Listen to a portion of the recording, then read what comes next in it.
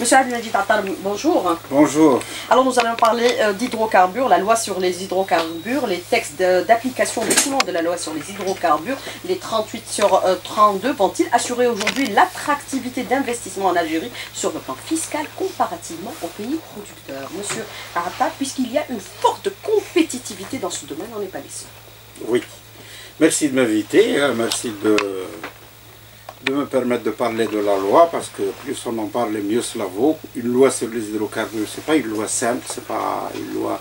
il y a un aspect technique à l'intérieur, c'est-à-dire y compris la fiscalité extrêmement importante.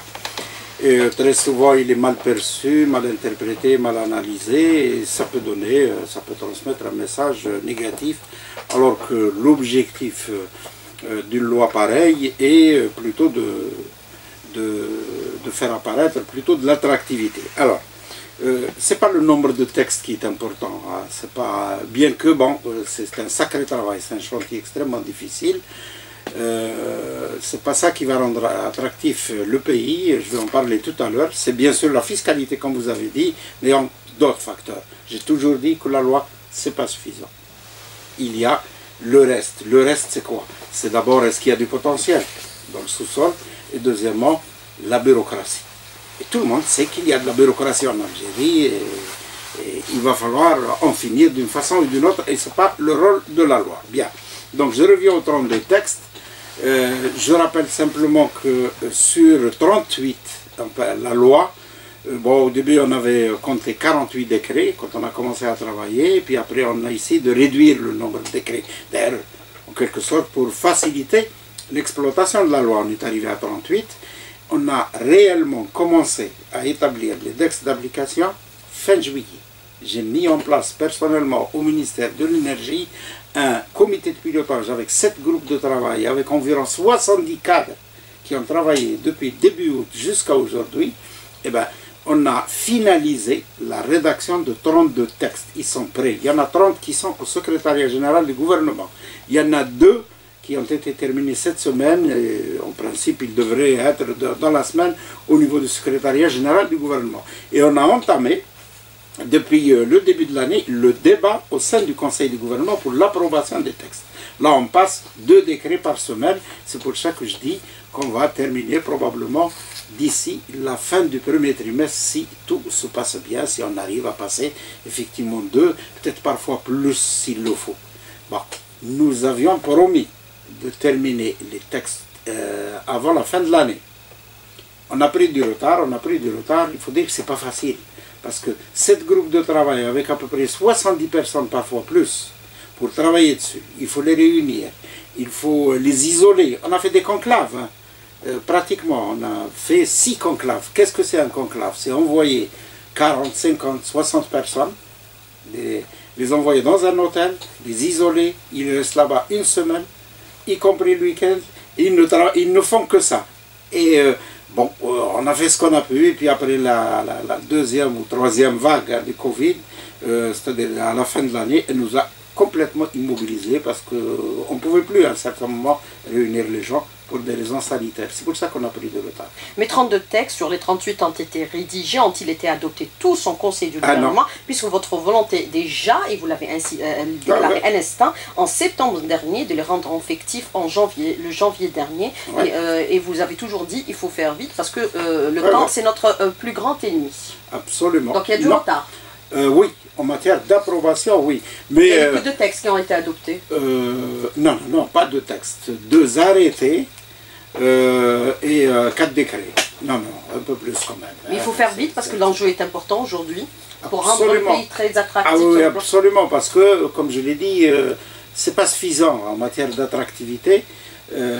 Pour la fiscalité. Encore, parce qu'aujourd'hui, je sais qu'il y a certaines analyses qui sont en train de sortir et qui disent, j'ai lu un article dans Le Soir, par exemple, il y a quelques jours, qui qui dit que l'Algérie est la moins attractive. D'ailleurs, ils ont affiché un chiffre. Pourtant, c'est un, bureau euh, euh, très connu, hein, euh, vraiment à l'échelle internationale, et qui dit 99% c'est ce que prend l'État et son attraque de la production qui est... c'est complètement erroné. Jamais.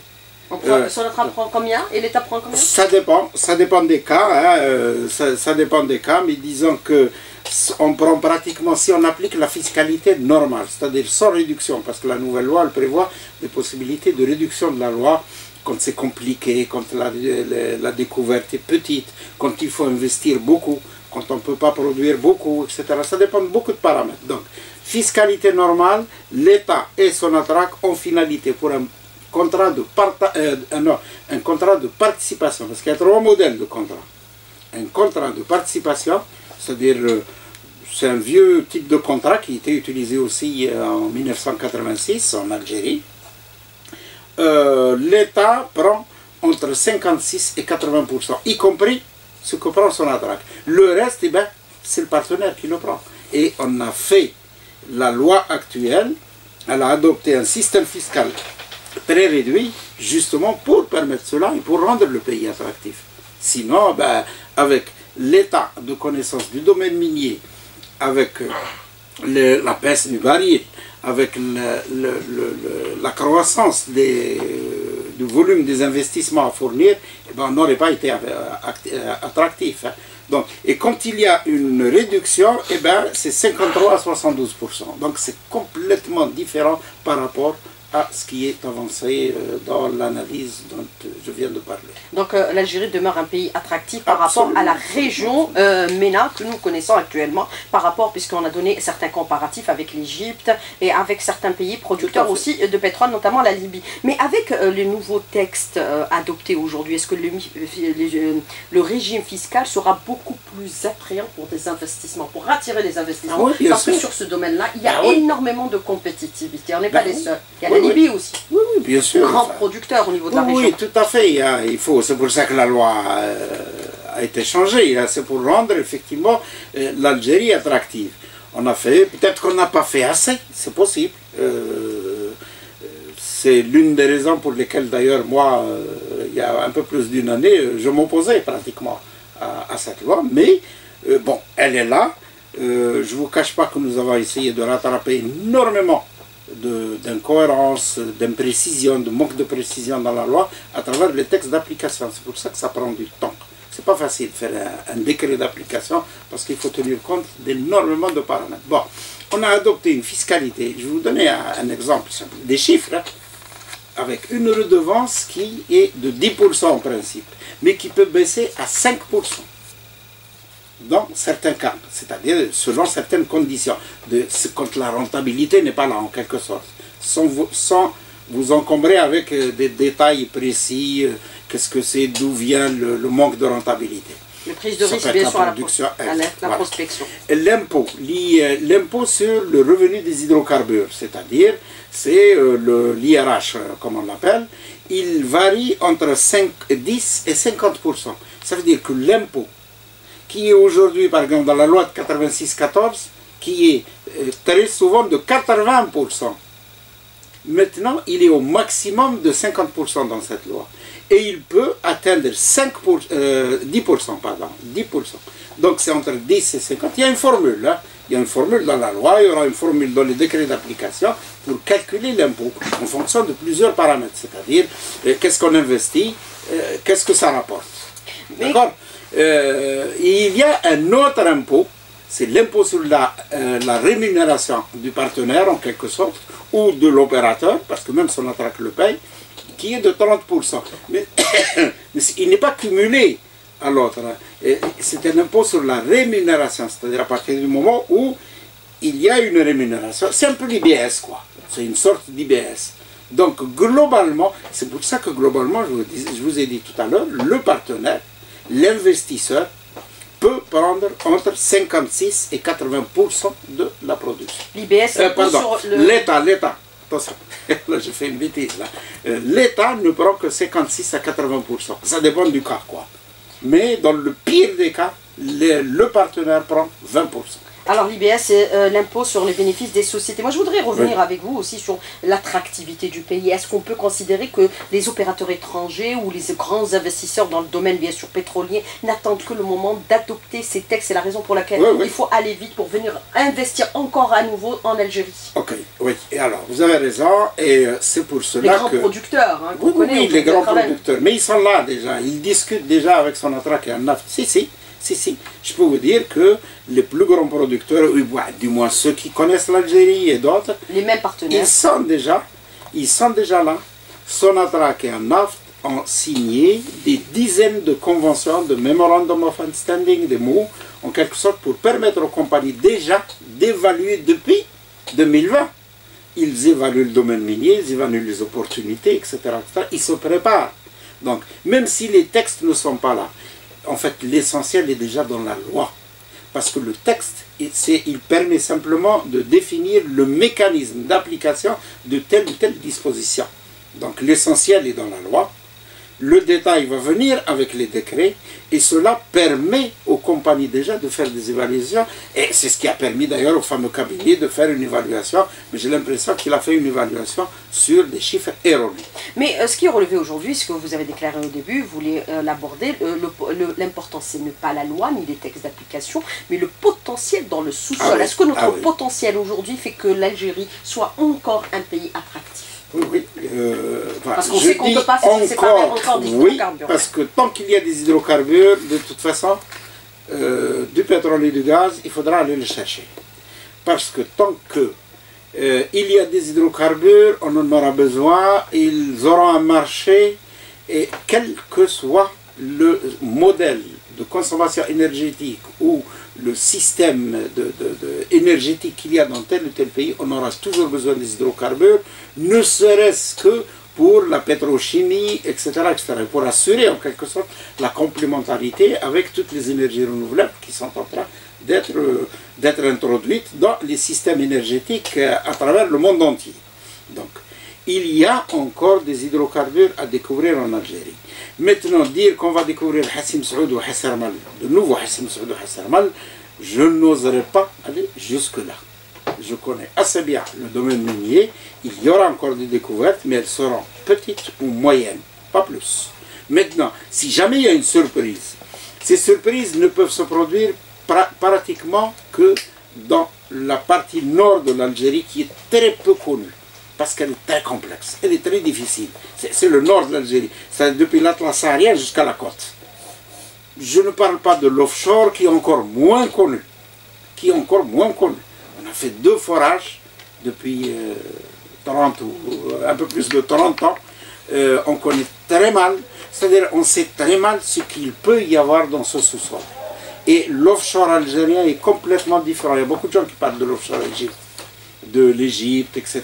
Non, notre offshore est complètement différent. Mais il y a quand même des travaux, il y a même une convention, il y a un accord de prospection de Sonatrach et Lili. Ils ont fait de la sismique et maintenant il faut passer au forage. Sans avoir fait un forage, un premier forage sur un bon prospect, on ne peut ni dire que l'offshore algérien est bon, ni qu'il est mauvais.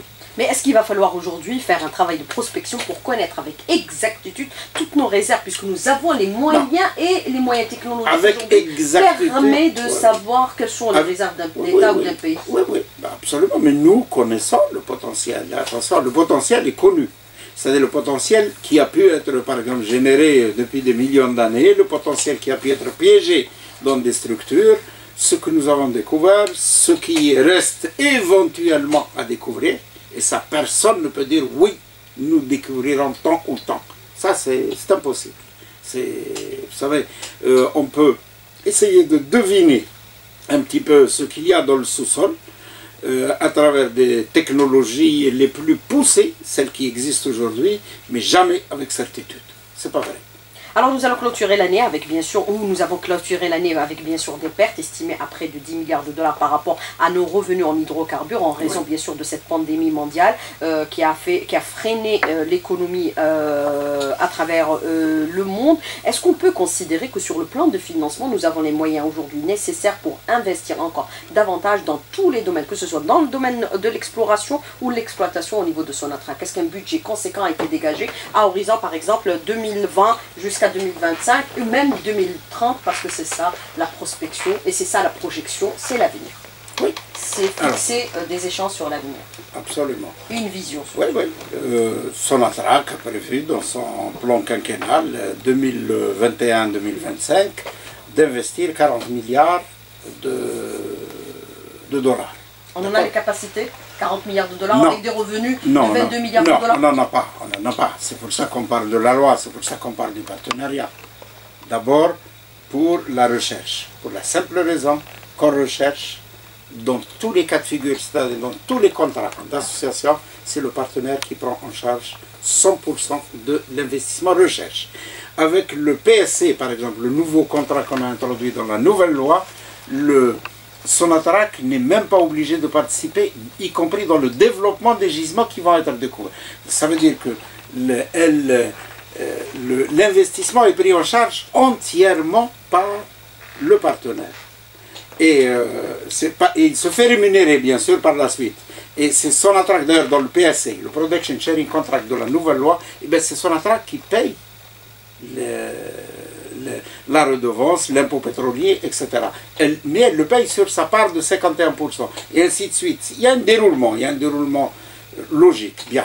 Euh, on cherche du partenariat pour la pétrochimie. Il ne faut pas oublier qu'en aval, c'est des investissements extraordinaires. Hein. Il faut entre, 15, non, entre 16 et 18 milliards de dollars si on veut réussir euh, démarrer les projets de pétrochimie qui sont prévus. Et tout ça, il faut du partenariat. Donc, quand Sonata, quand elle dit 40 milliards, ça ne veut pas dire que c'est elle qui va. Elle ne pourra pas, de toute façon.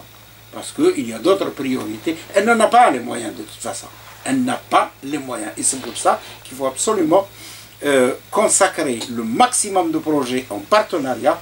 Euh, c'est la consigne qui a été donnée à Sonatra, y compris au cours de son Assemblée générale, que j'ai présidé moi-même le 29 décembre, donner la priorité au partenariat et le reste, concentrer son attraque, comme je l'ai toujours dit, ses métiers de base et là où vraiment il n'y a pas de partenariat et là où on ne doit pas avoir de partenariat, c'est Hassim Saoudi Hassan. Ça, c'est Bijoux de femme.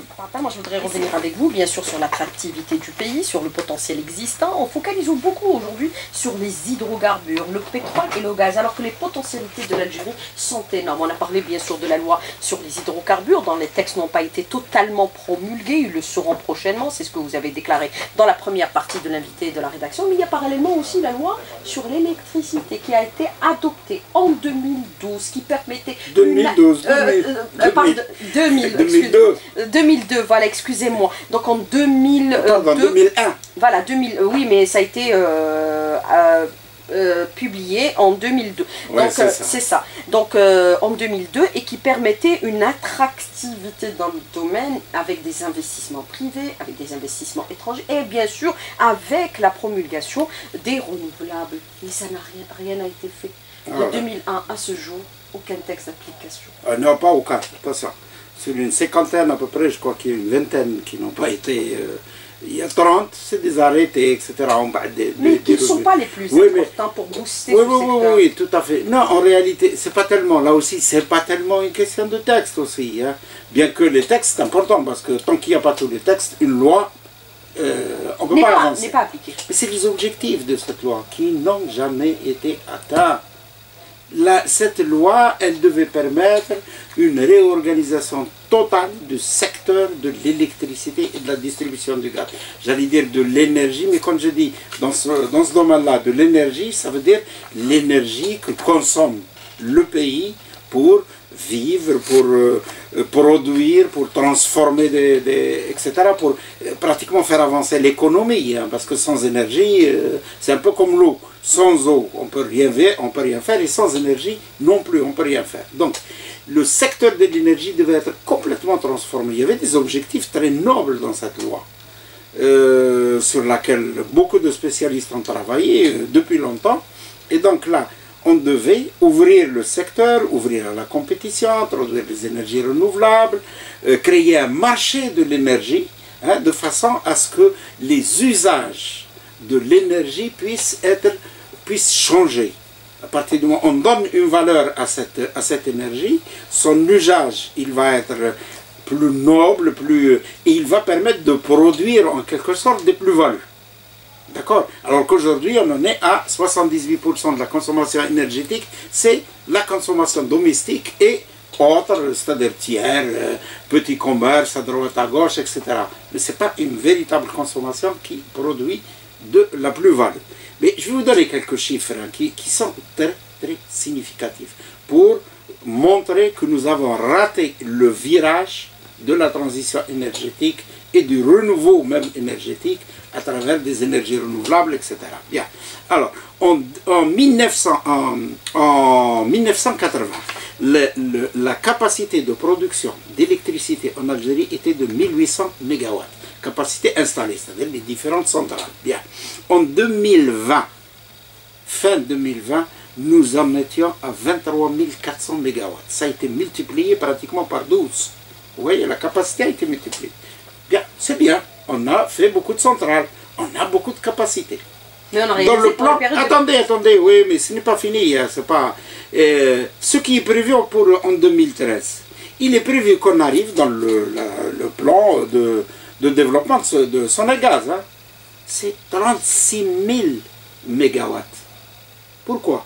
Pour arriver à, euh, c'est-à-dire pour passer une production euh, équivalente à, euh, je ne me rappelle plus, mais, mais bah, ça c'est la capacité. Dans cette capacité à 2020, combien il y a de renouvelables? 354 MW.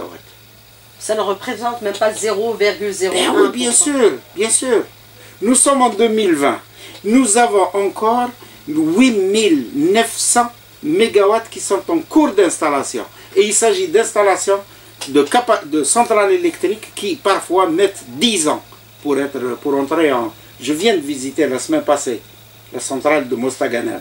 Donc le contrat a été signé en 2014, installé sur la plus belle plage de Mostaganem, pour 680 millions de dollars, son coût, sans compter les dinars. D'accord? Nous sommes en 2020.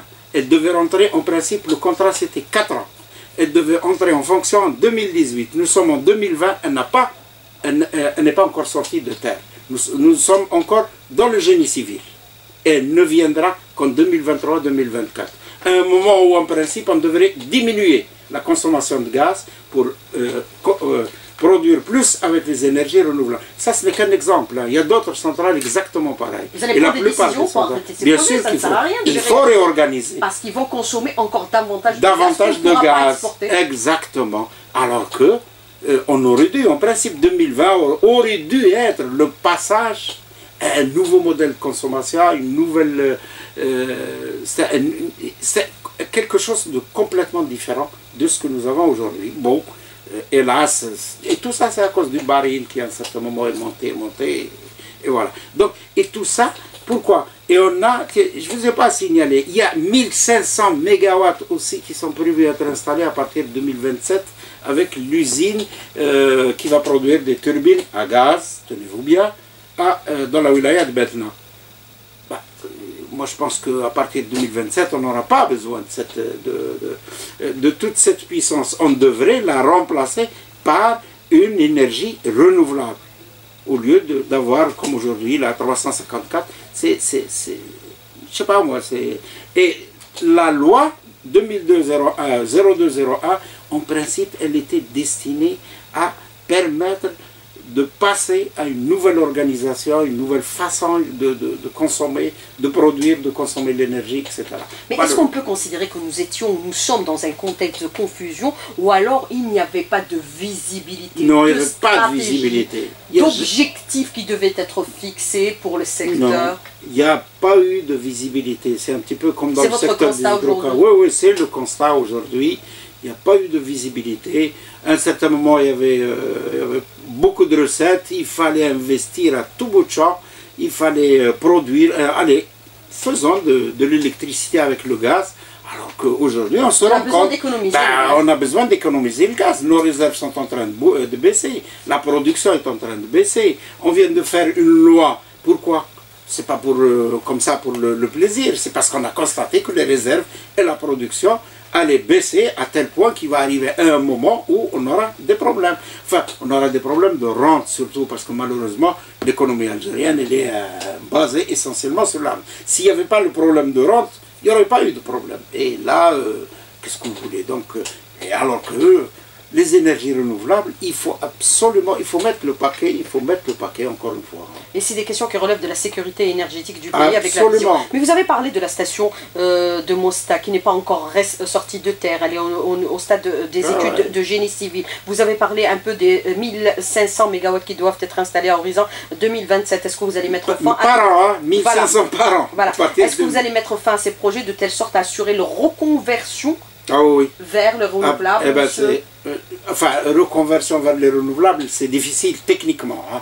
Ça, c'est une affaire technique. Oui, mais c'est pas sortir encore de terre, on peut faire des euh, choses encore. oui, les remplacer, bien sûr. Vous avez parlé de 680 millions de dollars pour celle de Mostaganem, il y a des euh, surcoûts de retard aussi. Et plus, oui. Les surcoûts de retard. Elle va arriver à un milliard pour ne rien vous cacher, voilà. Probablement. Ah, si on compte le temps, ça va être c'est une autre affaire. Et les surcoûts, euh, le ministre des eh Finances ben, a donné une estimation, c'est 40 milliards de dollars en Oui, ben, il a raison. Énorme. Et eh oui, lui, il est responsable de la caisse et il doit faire attention. Et, euh, non, euh, je vous dis, c'est-à-dire, bon, il ne s'agit pas de remplacer. D'abord, il faut réduire. À mon avis, il faut réorganiser l'activité énergétique pour réduire les investissements dans le conventionnel.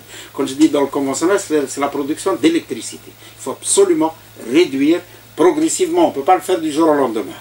Et il faut remplacer cela par du renouvelable. Il vaut mieux faire un effort, même s'il est difficile, parce qu'il faut investir là aussi, hein, même s'il est difficile. Mais moi j'estime qu'au lieu d'investir en 10 ans, ce qui est prévu par Sonelgas, c'est 1200 et quelques 1219 milliards de dinars. Ça, c'est le programme, le plan d'investissement prévu par euh, Sonelgas entre 2020 et 2030. Alors qu'elle n'a pas beaucoup d'argent, son Elgas. Hein? Elle est en difficulté financière. Et, ben oui. Et vous l'avez déjà dit.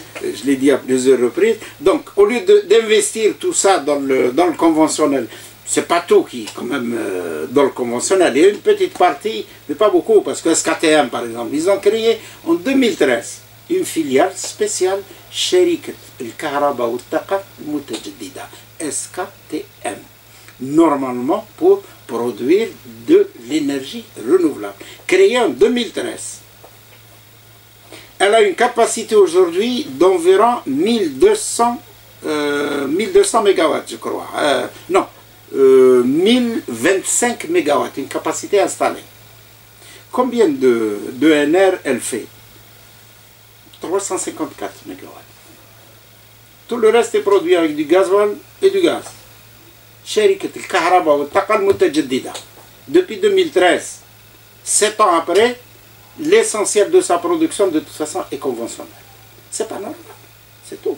Donc il faut absolument, bah, mais nous travaillons, attention, nous travaillons avec le ministère, maintenant, il y a un ministère de la transition et de, énergétique et des énergies renouvelables, et nous essayons à deux de changer de cap de modifier un petit peu les, programmes, les stratégies, les objectifs, etc. en mettant le paquet. C'est lui qui va mettre le paquet sur les énergies renouvelables et nous, on essaye de réduire de notre côté. Je vais donner un petit exemple.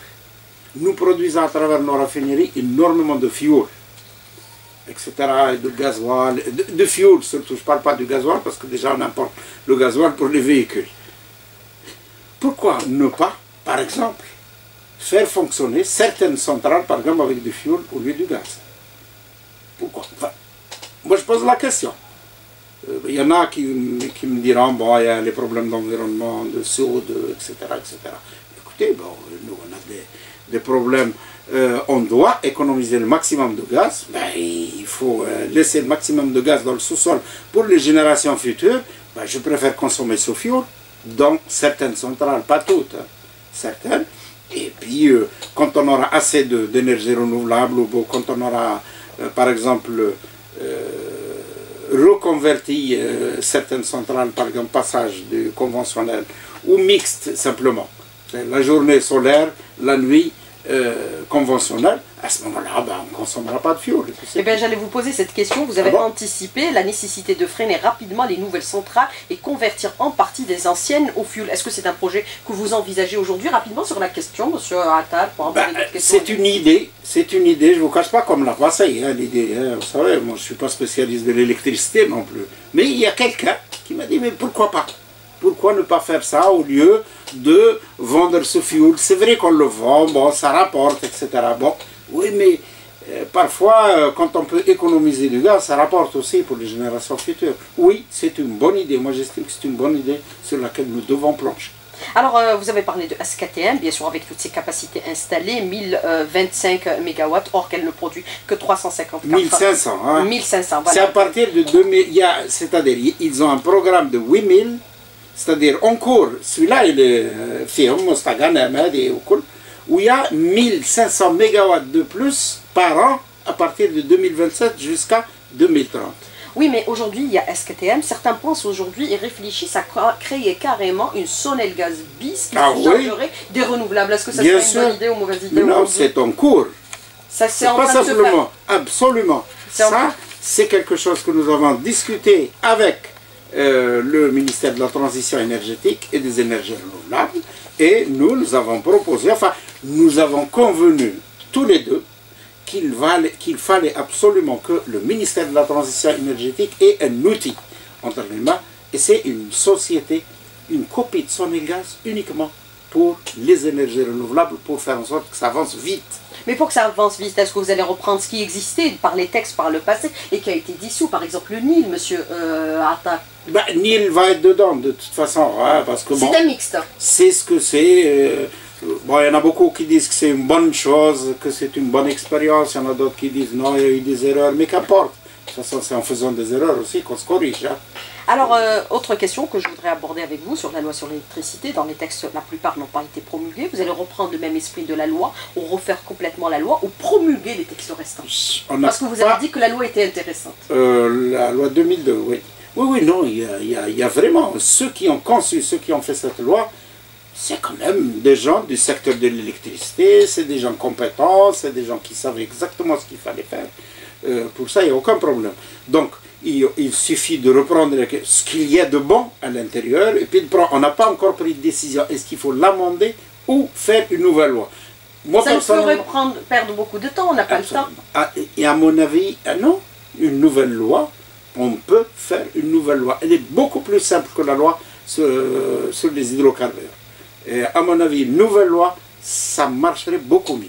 Alors, euh, autre question, et c'est celle de l'auditeur. Quelles sont vos projections aujourd'hui pour l'offshore en espace maritime algérien? Rapidement, euh, bah, euh, Ça, c'est un domaine minier sur lequel travaille Sonatrach. À l'est, sur la partie est, elle a un contrat de prospection avec l'ENI. En fait, c'est c'est un accord de prospection. Un accord de prospection, c'est juste pour faire de la sismique. Ils ont fait de la sismique, ils ont décelé des prospects, c'est-à-dire des possibilités d'accumulation d'hydrocarbures, mais on ne sait pas s'il y en a. Et on ne le saura que si on fera un forage. La crise pétrolière, le Covid, etc. ont retardé les choses, mais le contrat est toujours en cours. À l'ouest, c'était avec Total, et Total elle a abandonné le contrat de prospection. Alors, euh, autre question de l'auditeur qui vous dit, euh, je voudrais revenir avec vous sur la gestion de Sonatrach. Elle est où cette entreprise face aux nouvelles euh, perspectives mondiales dans le domaine, bien sûr, de l'énergie? Est-ce que ce n'est pas l'heure de revoir l'organisation et l'organigramme de l'entreprise en question et ses filiales au niveau national et international? Monsieur Attal, la bien question... j'en ai parlé à plusieurs reprises. J'avais dit que Sonatrach faisait tout et n'importe quoi. Et c'est vrai elle est dispersée. Elle est énormément, elle disperse non seulement ses moyens financiers, mais aussi ses capacités managériales et par conséquent, elle, euh, elle finit par donner autant d'importance à quelque chose de très important que quelque chose de très futile. Bien. Donc, il faut absolument, il faut la baser sur ses métiers. Elle a cinq métiers de base. Exploration, production, transport, euh, transformation et euh, commercialisation. Voilà, c'est les hydrocarbures. Elle doit être basée sur ça. Elle doit se débarrasser de tout ce qui ne concerne pas ces métiers de base. Alors, euh, raffinerie du Biskra, c'est un projet qui a été abandonné, M. Attar Ben oui, enfin, abandonné, il était inscrit, euh, mais très très sincèrement. Aujourd'hui, bon, c'est vrai que nous importons du gaz. On n'importe plus d'essence, hein, c'est fini. Maintenant, c'est un seul type d'essence euh, qui fonctionne de toute façon dans tous les véhicules. tout ça, c'est pour éviter d'importer de l'essence. Notre essence sera une essence 91 octane, euh, indice d'octane 91 et euh, sans plomb, bien sûr. On importe encore du gasoil. La raffinerie de Hassim Saoud vient de démarrer. Bon, celle-là, il n'y a pas de problème parce qu'elle est située quand même au centre d'une zone et d'une grosse consommation de, carburant, surtout en ce qui concerne le sud et, la partie est de, de l'Algérie où il y a la plus forte consommation euh, de carburant. Il y avait d'autres euh, euh, raffineries, celle de Biskra, celle de Tiaret, qui étaient dans les programmes. Mais aujourd'hui, nous n'avons ni les moyens, ni les moyens pour, parce que c'est une activité qui va être à 100%, ni, ni, les moyens financiers, ni le besoin de le faire à l'avenir, parce que nous voulons économiser le carburant. Et nous, et là, dans ce domaine aussi, passer aux énergies renouvelables, la voiture électrique, etc. etc. Oui, mais nous importons aussi énormément de carburant de l'étranger. Oui, mais à partir de, 2023-2024, quand celle de Hassim Saoud entrera en, en fonction, nous n'importerons plus de carburant. Alors, euh, autre question, monsieur euh, Attal, puisque vous avez parlé un peu de l'électricité, le gaspillage de 50% d'éclairage public perd à Sonel Gaz l'équivalent de 3, 23%. C'est la direction euh, de distribution de Sonel Gaz qui donne aujourd'hui ces chiffres. Est-ce qu'il ne faudrait pas convertir justement la consommation de cet éclairage public en panneaux photovoltaïques à travers le, territoire pour éviter le gaspillage Parce qu'on gaspille l'électricité. Il y a un énorme, oui, oui, effectivement. Et nous sommes plus producteurs de gaz que de pétrole. Absolument l'Algérie est en train de devenir un pays gazier et non plus un pays pétrolier.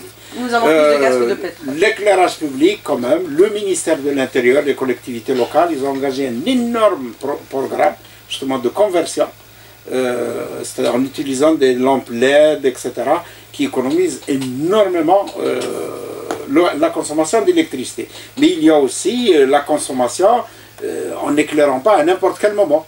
Euh, en n'éclairant pas n'importe quel immeuble, de façon vraiment... Euh, et ça, qu'est-ce que vous voulez? C'est des initiatives individuelles.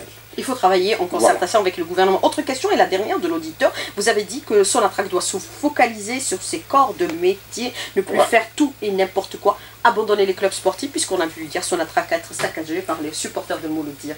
Moi, colère. écoutez, ça c'est oui, mais ça c'est, euh, moi j'ai l'impression que c'est pas, c'est une colère qui a été peut-être provoquée, peut-être manipulée, j'en sais rien, je connais pas, les, je connais pas les raisons. Euh, maintenant, bon, tous les clubs tous les, enfin, dans le monde, hein, c'est-à-dire où toutes les entreprises, les organismes qui ont besoin de publicité, qui ont besoin de soigner leur image, parce que ça leur rapporte. La question qu'il faut, moi je suis pas contre le fait de soutenir tel ou tel qu'est-ce que ça rapporte À l'image de l'entreprise. Qu'est-ce que ça rapporte peut-être même comme euh, bénéfice? Si ça rapporte, oui. Si ça ne rapporte pas, eh bien, il ne faut pas le faire. Monsieur Abdelmajid Atta, merci d'avoir répondu à la question et d'avoir été en direct avec nous ce matin dans le studio. Merci beaucoup. À bientôt. Bon courage. Merci.